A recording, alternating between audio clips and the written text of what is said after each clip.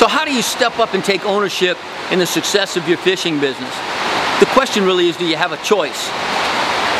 When a captain leaves the dock in the morning, he leaves bankrupt to fish. He heads out with nothing but a tank full of confidence, a bucket of optimism, and the opportunity that the day might present. He carries on his shoulders the weight of the expectations of his guests as well as their safety. And then it gets easy. He only has to find the fish, position the, the boat in a way to catch the fish, and then give the fish what they want when they want it. At the end of the day, our captains all come home and we clean fish on one big table. We call it the confessional. There's no hiding what you did that day. It's right there for the world to see. We depend on three things. Our knowledge, our experience, and just as importantly, the equipment we use. Choice? There really is no choice. You either own it and get in it to win it, or the choice you need to make is maybe to take up tennis or golf.